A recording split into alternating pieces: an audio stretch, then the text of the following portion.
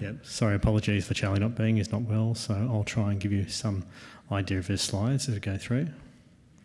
So we're really just going to talk about the journey today and a bit of the technology behind it, and then a quick demo.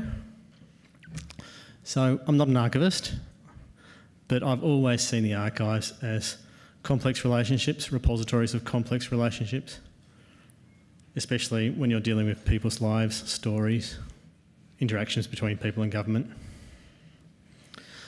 And it's always occurred to me, because I think spatially and in pictures, why do we reduce these complex relationships to lists, which give you no idea of the relationships? They're just lists of entities, such as functions, series, agencies.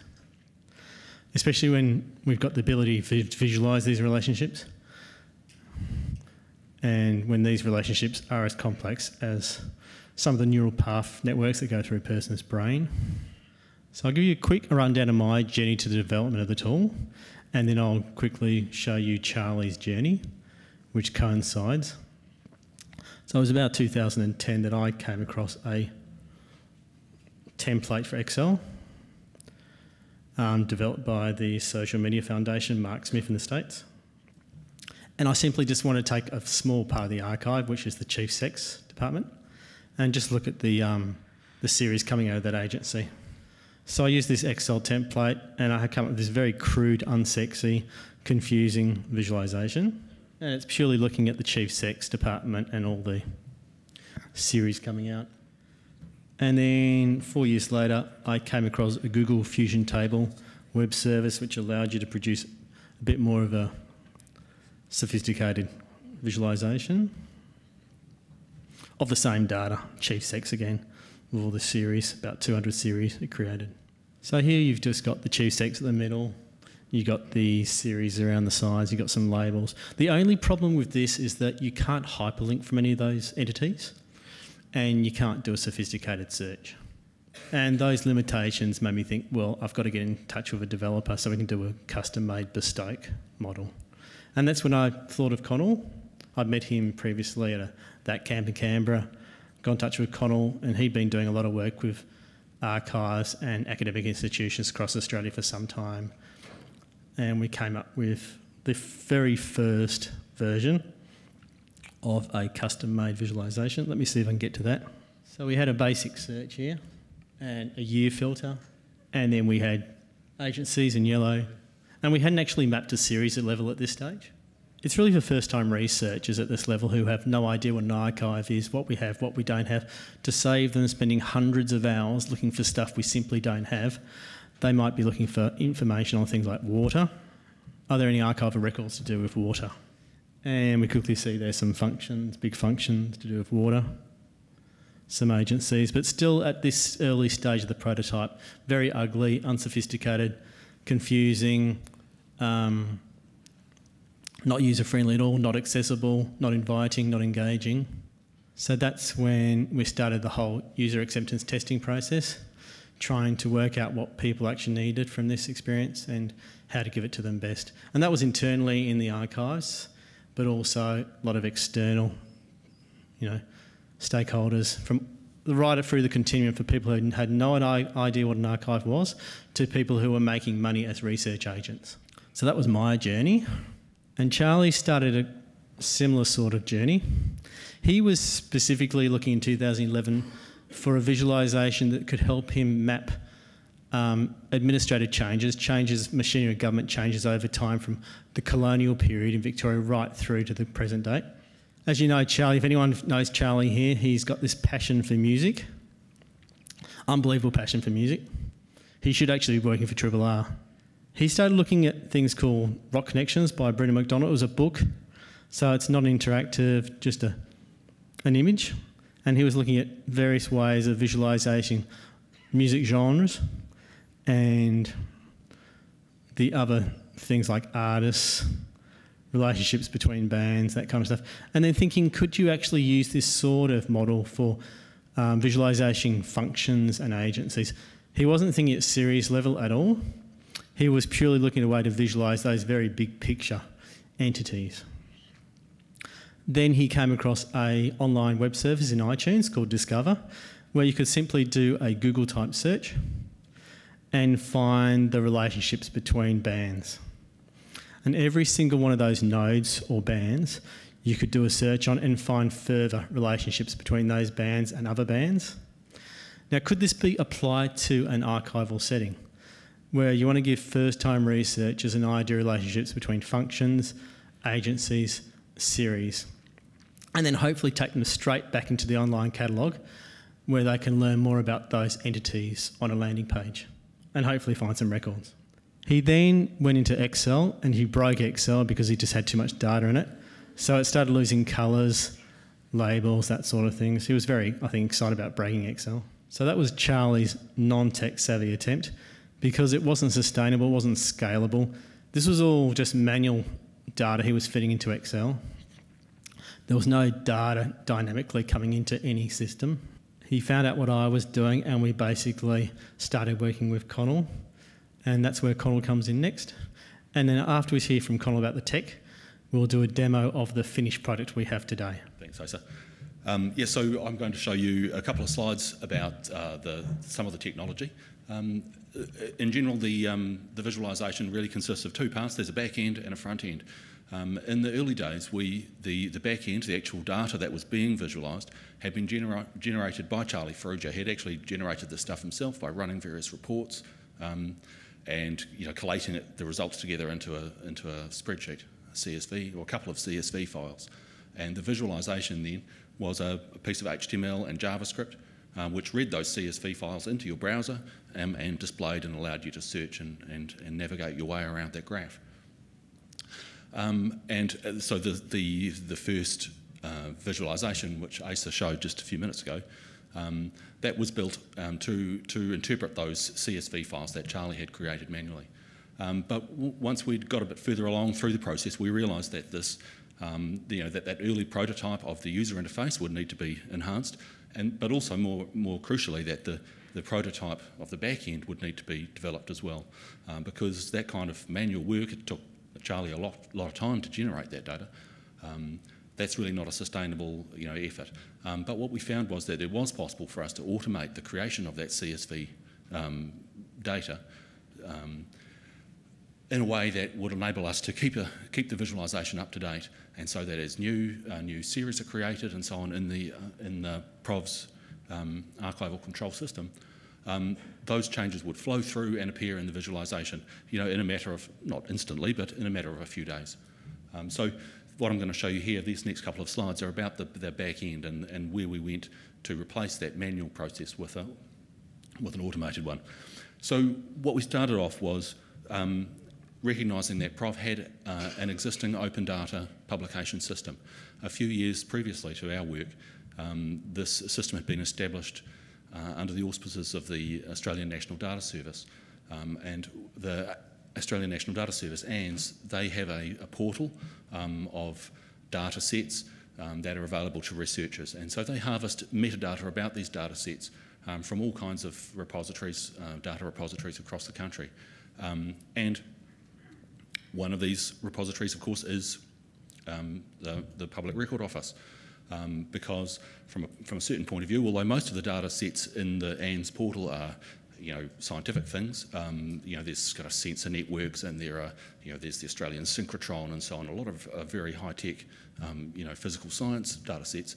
Um, these archival uh, series and so on are also, um, you know, important research data sets, and so they were in a way wedged into the same kind of framework as the um, as the scientific data sets. Um, and the way that was done was uh, that the, the individual uh, entities, which were uh, agents, you know, research organisations, researchers, and so on, uh, research programs, and uh, research data sets, um, were recorded in XML files using a uh, using a, an XML format called RIFCS, um, which it's about uh, collections and services. It's a registry interchange format, collections and services. There we go, I can remember it.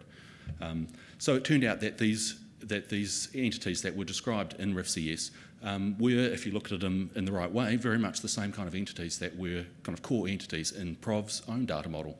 You know, these um, uh, collections um, were series. Um, uh, you know, the the research programs were governmental functions um, because these you know, series were produced in the, in the carrying out of functions and so on. So there was quite a straightforward mapping. And what Prov had done then is taken data, a data dump from their archival control system, exported it out into RIFCS XML, um, and then exposed it to the web using this uh, software on the, on the right there called the Open Archives Metadata Repository. Um, uh, the OAI PMH is Open Archives Initiative Protocol for Metadata Harvesting, and it's a standard that um, provides a mechanism for um, bulk exchange of, of metadata of some sort. And so that metadata then was harvested by the, um, the National Data Service and also then by Trove. Um, and so this was already available to us at the point where we were looking for a way to get some updated data. And so what we thought was, well, we could just hook straight into that ourselves. And so this is kind of an odd thing in a sense. We've got, um, we've got Prov with their own database, exporting the data and publishing it on the web, and then harvesting, reaching out into the web, harvesting that data themselves and processing it further. So that's the next slide. Uh, it shows the data pipeline, which is the back end of the provisualizer as it is now. So on the left there, you've got the, um, the repository of RIFCS XML records. Um, they're harvested by a piece of software which I wrote under contract to Prov. Um, and the output of that software is, you know, it downloads all of these records from the, from the repository, converts them all into RDF graphs, and then it stores all those graphs in a SPARQL graph store. Now it's simply a matter of just throwing the graphs into the store. Um, once they're in the store, all of those little graphs, which represent some little part of the overall network, you know, this entity and a few related entities, the next graph will represent this entity and a few other related entities. You throw all the graphs together into your SPARQL store, and all those graphs merge together. And where, where entities have been identified with the same identifier, they actually they, they unify, they merge. Um, and so you end up then with a, with, a, with a network that contains the entire, I don't know how many it was, 30,000, I think springs to mind, um, entities. So then what happens is that SPARQL store is queryable. You can write little kind of database queries to it um, and retrieve data out of it according to whatever criteria you have. So then we generated those very same CSV files that had been previously generated manually and straight into the provisualizer and displayed. So a few interesting factors I think about the, um, to, to, to, mention about the way that we organised this work and, and um, uh, you know, assembled the system. Uh, the enterprise architecture of the system, what was what really drove these decisions. Um, for a start, although we, are using this uh, semantic web technology, RDF, you know, graph databases, whatever you want to call it, um, that's not something that's typically found, uh, you know, a lot of expertise um, in institutions. It's quite a, quite a high-tech thing. Um, you find that there's support for that inside universities and so on, but it's, it's not quite yet, I think, mainstream. And I think this is where the, the ICA's work on uh, records and context um, is potentially a real game changer because it, I think it'll it'll make that technology become mainstream and, and you know be be seen as mainstream. So Prov also has a strategy to move their uh, applications into the cloud uh, rather than maintaining things in their own local data centre. Um, and that's a good strategy, I think, particularly when you're dealing with large scale. Uh, by moving things into the cloud, you can easily, much more cheaply, scale up to meet demand if you have a very successful product. The last thing you want is to have your successful product brought to its knees by having too many people trying to access it at once. By putting it into the cloud, you can, you can scale right up um, just by paying a few more dollars to, to Amazon or whoever is providing your cloud service. Uh, the other point about relying on the OAI PMH feed, why we're getting data from the public OAI PMH feed um, rather than directly from the um, archival control system is that the archival control system is potentially, you know, it's under review, uh, things can change. Um, if we have a dependency on that software and things change, then we've got to change something to match.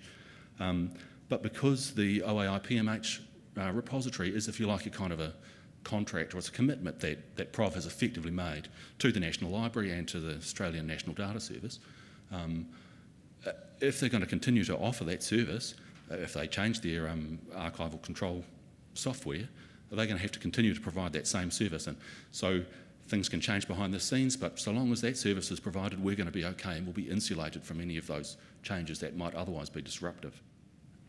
So the final thing I'd say about um, the, the technology before we get into the, um, the demonstration of the visualisation is the use of linked data. Um, there, if I, if I just skip back a couple of slides. There, that SPARQL Graph Store, that is the key technology here. Um, this is a database in which data is modelled as a graph, as a network, in other words. Um, and that technology is something quite new, um, but it is something that's enormously powerful. And I think it's something that, you know, although there were alternative ways that we could have approached this, this process, by using linked data purely as an intermediate, you know, as a, as a step in our pipeline, um, we now have the potential to actually expose that linked data to all sorts of other uses as well. Um, I think it's a very flexible approach, um, and it's an approach in particular that allows for the, the PROV metadata to be linked to metadata from a whole lot of other sources. Any number of other sources could be integrated with it um, very easily, and I think this is the real strength of the linked data platform as a kind of as a set of software technologies, um, is that it allows, very much facilitates the integration of knowledge from disparate sources. Um, so, in particular, we were talking um, quite a lot about um, building a federated search. Um, this could very much be part of you know, Prov's contribution to a federated search. Um, that SPARQL store gives you the opportunity for researchers to submit arbitrary queries to it, looking for information about you know, connections, all kinds of different things could potentially be extracted from that. And by storing it all in one central queryable database, we've, we've provided a lot of flexibility to researchers who might want to approach the, the archives you know, from, a, from a very high level, be able to drill down in, in whatever way suits them. Uh, the other things that we could do about it um, is using it as a way, which we haven't yet, of enhancing Prov's existing website. So, for instance, there's a page on the Access the Collection website about a series, for instance. Um, we could bring into that page information that's been taken from the SPARQL store um, about related entities and display them right there on that page. So it's a way that could support, you know, a, a kind of contextualisation um, in the form of simple little plugins that you could do with a little couple of lines of JavaScript. So again, it's very much a, a technology that's oriented towards um, modern web design techniques, very much about plugging things in where needed and, and reusing them across a wide, a wide uh, surface of the web. So I think that's it for the, the technology. We should move on to the, the graph demo. Yeah. Okay, so the albatross is finally off my neck. The PowerPoint is gone. Let's get on to the actual demo. So here's the visualization and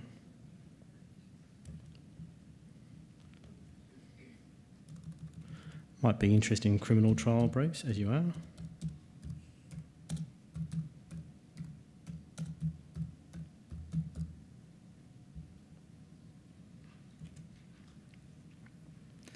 and then we'll get a bigger view of that. And we can see we've got three agencies, three series.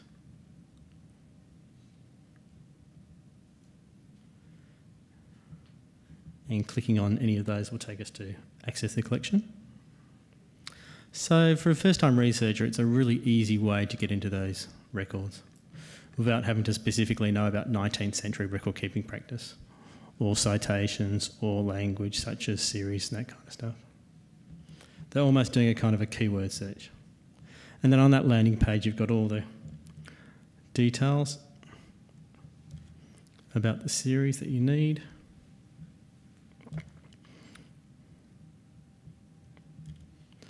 How to actually access. Or you might be interested in a really big subject like photographic collections. So you rock up to Prov and go, geez, I wonder if Prov's got any photographic collections. I wonder if there are like a library and museum where you can just do a Google search like photographic collections. Nah, that'd be about 20 years away, surely. and yes, it is 20 years away.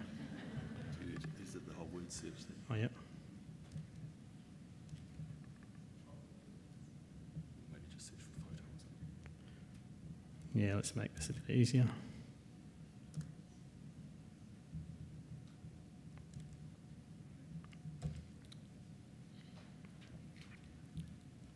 And here we can see we've got 76 photographic collection series created by 35 agencies. And the bigger and darker a circle, the more connections it has.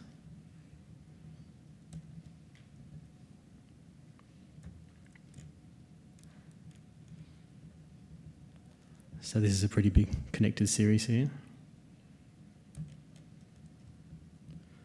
Our State Electricity Commission with all those different series coming off it. And to get a better view, we can just go to zoom to fit. And there we get a better view again. And if we want to share any of these search results, we can share them on Facebook, Twitter, we can email them. Or if you actually just want to take this tool, put it on your own website along with all the search functionality, all the functionality, complete thing, you can just get the embed code, size it to whatever screen you want in your own website, copy and paste that embed code, and just paste it into your own web page, and there you've got the whole tool for free.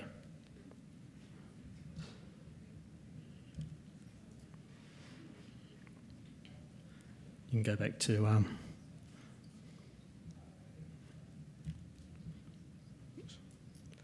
or you can search by broad function, 339 functions. There's about 15,000 series and 2,600 agencies. But if you're new to the archive, you've got no idea what an archive is, you have definitely no idea what a government archive is, you just know that you're interested in Aboriginal affairs.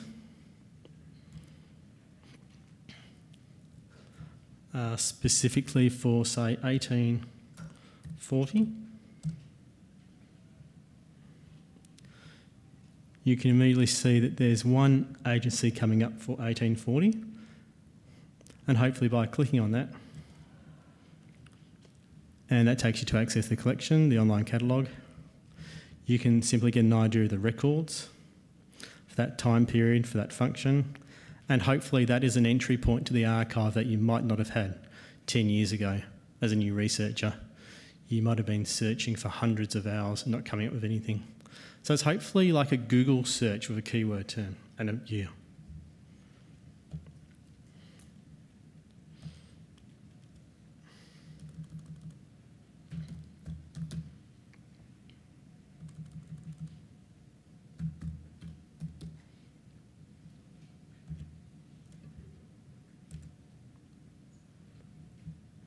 Yes, there is.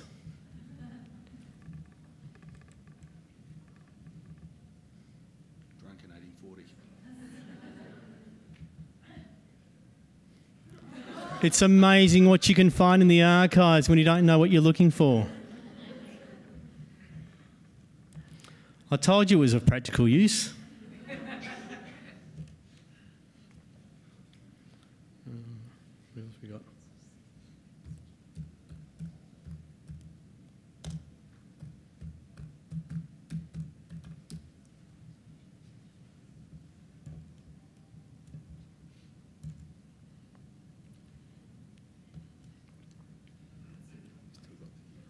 Oops.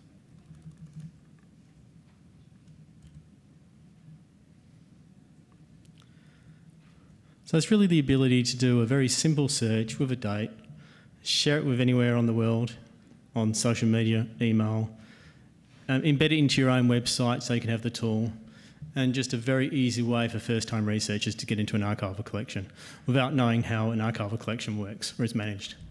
When I first joined Prov 11 years ago, someone said to me, we don't actually just keep records, we keep record keeping systems. That basically blew my brain for about a day. And hopefully, no one has to go through that process again. They can just put in a subject. So it's almost like a topic search. Now, of course, we don't keep records according to topics, but people can do a topic search.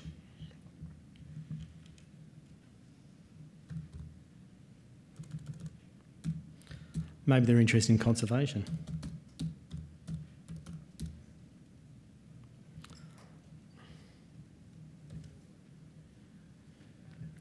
And they quickly see that yes, we have records about conservation.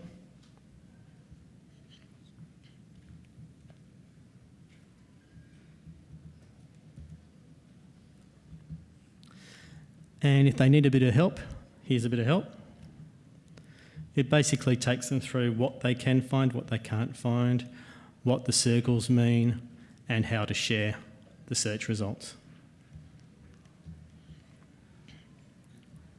Questions? Oh, yep.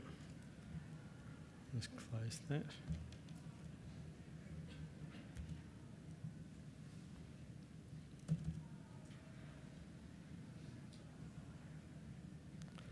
Now, is there any questions before we end up? oh, yeah, I'll take that.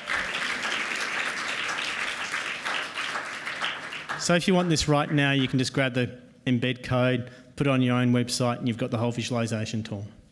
Yeah, it's all open source, it's free, and it's definitely the step towards a federated search across Australia of all the academic organisations, all the archives. This can happen, it's not impossible. I didn't realise there's such a long history of it trying to happen, but not happening. So we've definitely got the technology and the ability now to move forward with this. Can you please thank all of our speakers this afternoon?